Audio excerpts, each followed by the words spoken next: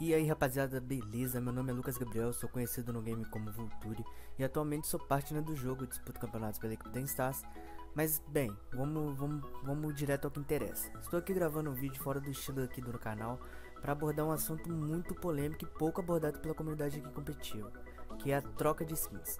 Todos sabemos que o jogo fechou os itens que estão disponíveis dentro do jogo para troca ou venda. A gente não pode trocar ou vender itens que estão ativos dentro do jogo. Mas Vulture, o que, que isso tem a ver?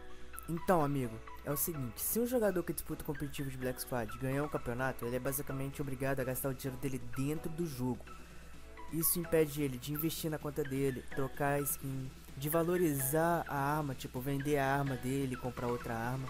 Isso impede ele de fazer isso. Então, a gente aqui do servidor SA, estamos aqui pedindo pedindo humildemente ao jogo que abra o trade de skins novamente. Então, porque, cara, deixar o trade fechado é desanimador, velho. Então a gente está lançando aqui a hashtag criada pelo nosso amigo russo, Open Screens for Trade. Então peço aí vocês de todos os servidores que jogam competitivamente que apoiem a nossa ideia para a gente conseguir aumentar o nosso salário, tá ligado? Isso é desanimador realmente. Valeu!